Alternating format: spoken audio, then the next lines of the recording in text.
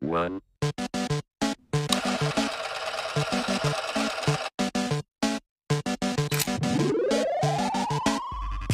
其实我小的时候有过这个梦想，开一个玩具店。就是小的时候，其实被《玩具总动员》影响的还是蛮深刻的。我就有的时候会想象家里所有的玩具会动起来，就是给他们塑造出了这样的一个世界。这个在我当中，它给了我无限的想象空间和幸福感。所以呢，这个呢就是我生活当中的小美。欢迎使用扭圈扭蛋机，支付成功，黄色的请黄色的黄色的时间转动旋钮后取出扭蛋。其实小美就是每个人生活当中渺小的美好。